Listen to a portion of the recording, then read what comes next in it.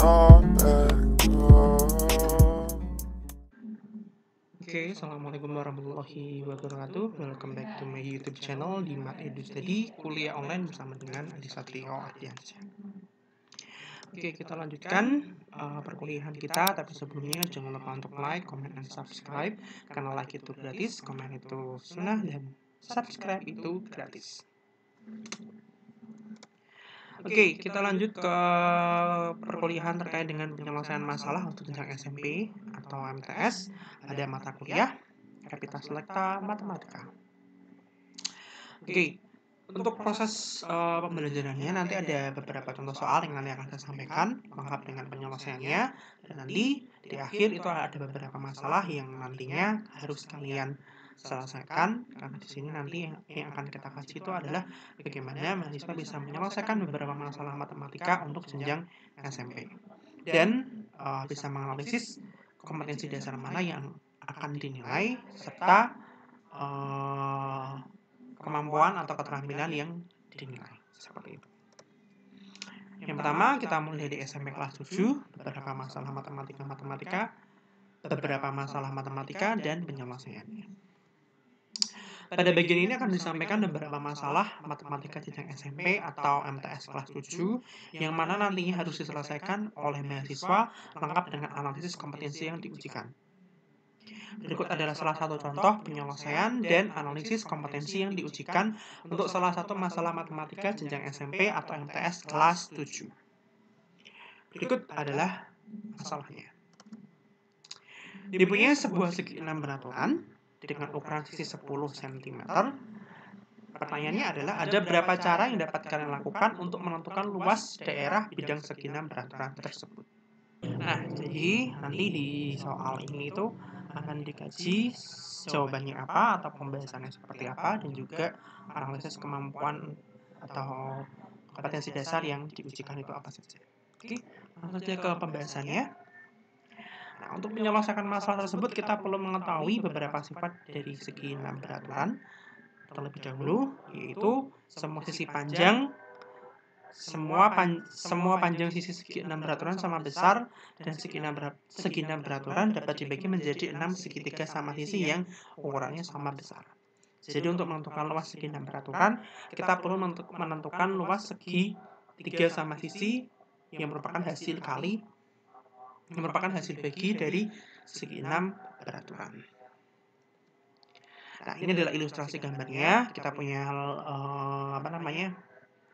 segi enam beraturan A B C D E F G A B C D E F G C D A B C D F G A B A B C D G F Kemudian kita pilih salah satu segitiganya yaitu segitiga APO.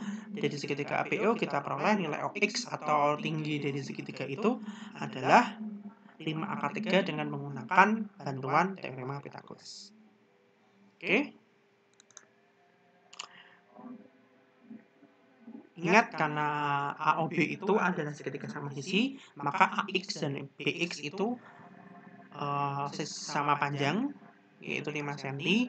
Kemudian kita tarik garis tinggi dari 0 ke sisi AB sehingga kita peroleh titik X sedemikian sehingga nanti panjang dari OX itu adalah 5 akar 3 dengan menggunakan bantuan perhitungan teorema Pythagoras. Kita lanjut ke alternatif penyelesaian pertamanya. Yang pertama kita hitung luas daerah segi 6 beraturan melalui luas daerah bidang segitiga sama sisi. Jelas, luas daerah bidang segitiga sama sisi itu adalah luas segitiga APO itu setengah kali alas kali tinggi yaitu setengah kali alasnya 10 kali tingginya adalah 5 kali 3 itu nilainya adalah 25 kali 3 sehingga kita peroleh luas bidang luas daerah bidang segi 6 beraturannya itu adalah 6 kalinya luas segitiga APO yaitu 6 kali 2 kali 25 kali 3 yaitu 150 kali 3 jadi luas daerah bidang segi 6 beraturan tersebut adalah 150 akar 3 cm persegi sorry persegi. ini ya Oke.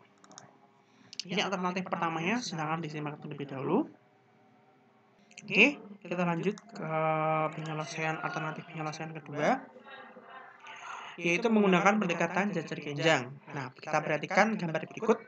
dari segi enam peraturan ini yang satu dua tiga segitiga ini kita pindahkan ke sini sehingga nanti akan kita peroleh uh, jajar genjang A, C, D, F. Dan luas daerah bidang jajar genjang itu adalah AC kali OX. AC-nya itu adalah tiga kalinya sisi yaitu 30 dikalikan OX-nya itu adalah 5 akar 3 sehingga nanti akan kita peroleh hasilnya adalah 150 akar 3. Oke. Yang terakhir, alternatif penyelesaian ketiga dengan menggunakan pendekatan trapesium. Jelas dari gambar ini akan kita peroleh ada dua buah trapesium yang sama besar, yaitu trapesium ABCD dan ABCF dan trapesium FCDE. Nah, sehingga kita cari terlebih dahulu salah satu luas trapesiumnya. Kita menggunakan luas trapesium ABCF, di mana AB ditambah CF dibagi dua dikalikan dengan OX. AB-nya itu adalah 10, CF-nya itu adalah dua kalinya AB yaitu 20 dibagi 2 dikali 5 akar 3 sehingga akan kita peroleh nilainya adalah 15 kali 5 akar 3 yaitu sama dengan 75 akar 3. Setelah itu untuk mencari luas daerah bidang segi 6 beraturan dengan cara mengalihkan uh, luas trapesiumnya itu dua kali sehingga nanti akan kita peroleh luasnya itu adalah 150 akar 3 cm persegi. Dari ketiga penyelesaian tadi kita peroleh hasil yang sama yaitu 150 akar 3 cm persegi.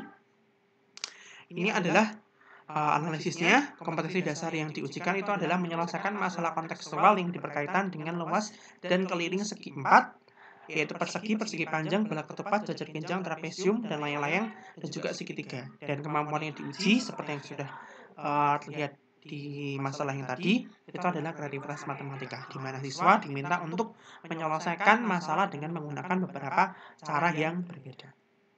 Oke, itu untuk masalah uh, salah satu masalah yang akan yang yang saya kaji untuk uh, materi kelas 7 SMP berikut adalah masalah yang harus kalian selesaikan, di mana nanti mahasiswa dapat menyelesaikan masalah berikut serta melakukan kajian analisis kompetensi dasar dan kemampuan atau keterampilan yang dinilai pada masalah berikut. Ada tiga masalah. Yang pertama adalah masalah sebagai berikut. Perhatikan gambar berikut. Ini ada dua gambar. Batang kayu pada bagian bawah itu ada tiga, dan batang kayu pada bagian atas. Yang satunya itu empat, ya yang ini ada tiga, yang ini ada empat. Sedangkan batang kayu keseluruhannya yang pertama ini ada 11 dan yang kedua di sini ada 15. Nah, kalian diminta mencari polanya. Nah, berikut adalah uh, yang harus kalian selesaikan, di mana kalian diminta untuk menyelesaikan uh, banyak batang pada bagian bawah dan banyak keseluruhan batang yang harus dimiliki serta pola yang harus dibentuk.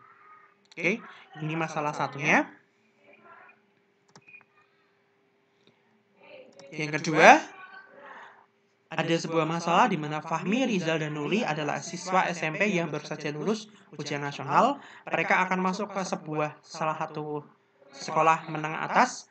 Adapun SMA yang akan mereka pilih itu adalah SMA Negeri 1 Garut, SMA Negeri 11 Garut, dan SMA Negeri 6 Garut.